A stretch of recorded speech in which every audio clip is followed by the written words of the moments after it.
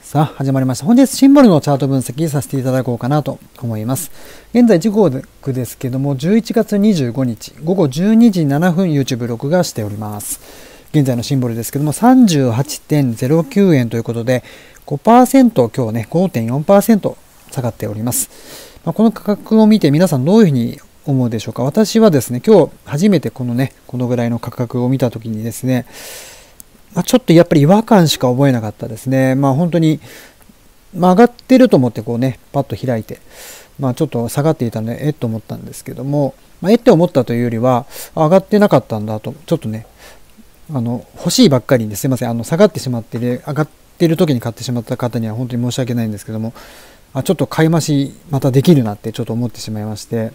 まあ、えっと、おかげさまでビットバンクの方もですね、口座、あの、復活しましたので、また入金して、え買いますので、ちょっとね、シンボル、まあ、今週中には、まあ、今日か明日ですね、明日かな、ちょっとね、明日になるかもしれませんので、まあ、ちょっと購入しようかな、買い増ししてみようかなっていうふうにね、思っております。ビットバンクは本当素晴らしい取引所販売所なんで、あの、かなりカスタマーセンターですか、こちらかなり丁寧にやっていただきまして、まあ本当に安心して、でその復旧までの取引というか流れがねすごい簡単でしたしまあすごい説明も丁寧だったので、まあ、本当に日本の取引所は素晴らしいですね。コインチェックもねあの以前ハッキングされてしまってでその後ねあの現金を返ししたっていうねちょっとありえないあの本当に私もその時にちょうど持っていましたのでどうなるのかな？もう絶対預けたものがね、あもう終わったなと思いましたけどね、本当にそれからまだ未だに取引ができてるっていうことは本当にね、まあ和田社長は改め、それから今のコインチェック運営されてるね、方、改めっていうのおかしいですね。和田社長がその時は社長でしたので、まあ本当に自分のね、あの、どういう形か、ポケットマネーでなんか返すみたいなちょっと話もあったし、すごかったですよね。まあ結果的に我々の口座にちゃんと資金が戻ってきたということなんで、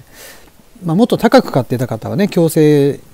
で88円ぐらいで多分取引ができてしまったということで、まあ、損した形にはなったかもしれません。まあ、そういう方もいらっしゃいますけどね、おそらくいらっしゃると思うんですけど、まあ、結果的にゼロではなかった。しっかり戻ってきたということで、まあ、今回も、まあ、私の場合は2段階認証がちょっとうまく噛み合わなくてですね、もう一回2段階認証を解除して、それから口座、ログインするような感じになったんですけども、非常に分かりやすくてですね、まあ、本当にその復旧までも早かったですね。でしかも土日、祭日ですか、祭日挟んでこのね、やっていただいたんですが、その間もですね、ちゃんと対応してもらってたので、本当にいい取引所販売所だなって改めて思いましたね。まあ、そのシンボルなので、まあ、私はビットバンクで購入してるんですけども、まあ、国内であればね、まあ、ビットバンクだったりで、今このシンボルは買えるわけなんですが、まあ、コインチェックの方にもですね、いずれ上場するということを考えると、やっぱり38円っていうのは、うん、私においてはかなり安いなっていう感じはね、本当にいたします。あの、ですので、まあちょっと増やしてみようかなっていうところですね。まあこのぐらいの値段のうちにならば、買い増ししとくべきなのかなって私は判断しているので、まあ、ちょっとその辺は詳しくはですね、2022年はシンボルの年だっていう、ちょっと YouTube も上がってますので、そちらも詳しく見ていただいたり、それから100倍になる仮想通貨はどれだという形でちょっと検証した動画も撮ってあるんですけども、そちらでもシンボルについて触れてますので、まだ見てない方はそちらの方もぜひご覧になってください。ということで、シンボルの価格なんですけども、まあちょっと60円ぐらいですね、そのバイビットに上場するということになりまして、上がってました。ちょっとその辺踏まえてちょっと見ていきたいと思うんですけども、まあ、このような形で今57.5円ぐらいのところにね、あの線があると思うんですが、ここからまあ下がってきているという状況ですね。まあ、ちょっと思ったよりね、下に来てるかなという印象はあるんですけども、まあ、この下の次のラインですね、35円ぐらい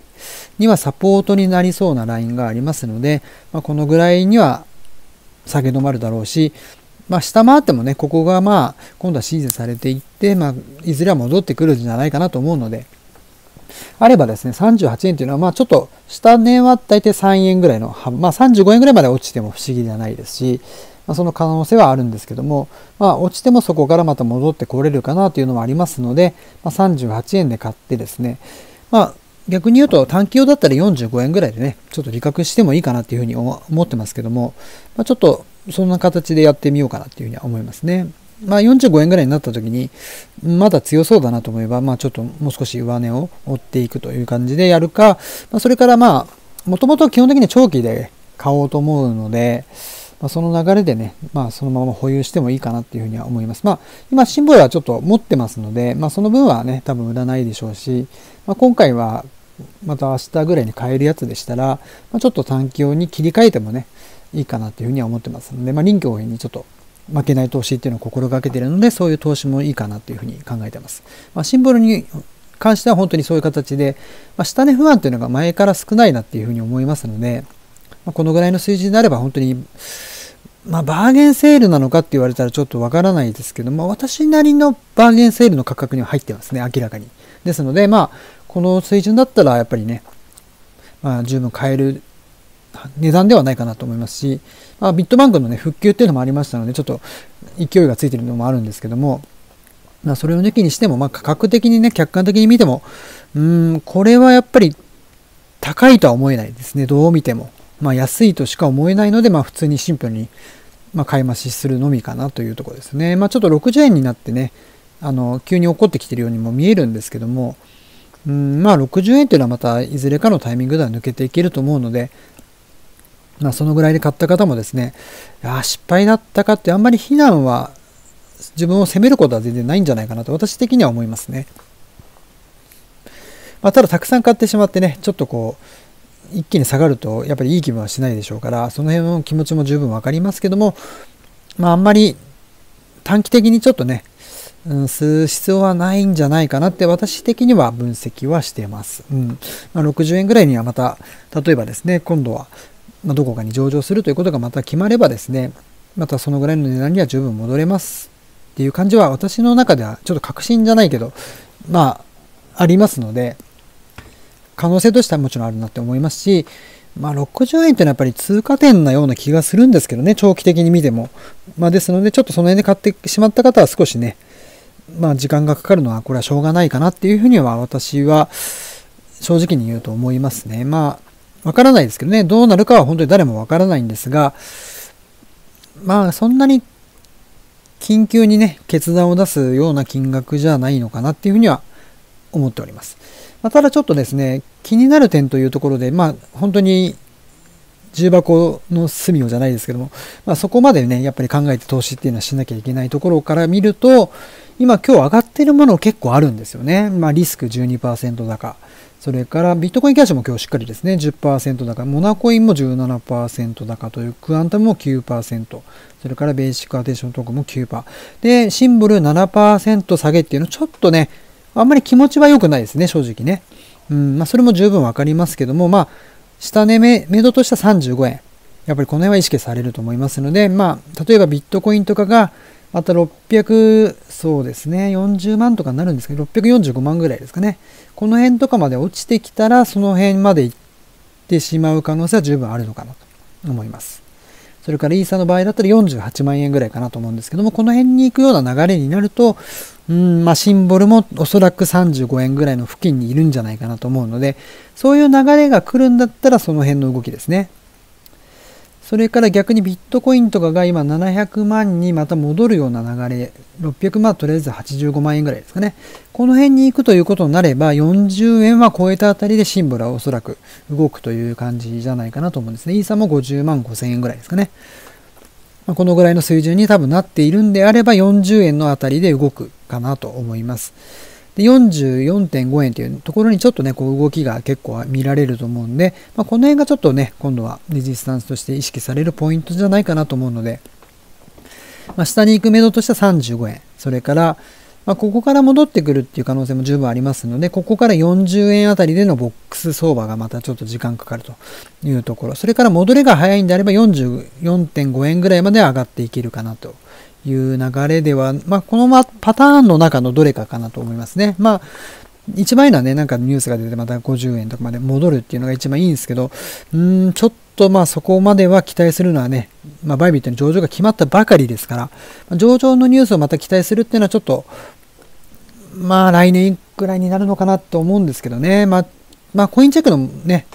件がどうなるかですよね。コインチェックに上場できて、まあ、コインチェックでシンボルが付与されるっていう形になれば、またその時にタイミング的にはどうなるかわからないですけども、値段の方は高まるんじゃないかなと思うので、まあ、そのニュースがどのタイミングで出るかというところでしょうね。まあ、しばらくは今の言ったような動きで展開されると思いますので、まあ、その間にあの、このシンボルですね。いかに増やせるかって結構大事じゃないかなと思います。2022年が本当にシンボルの年になるのであれば、やっぱりこの辺で買うっていうのは、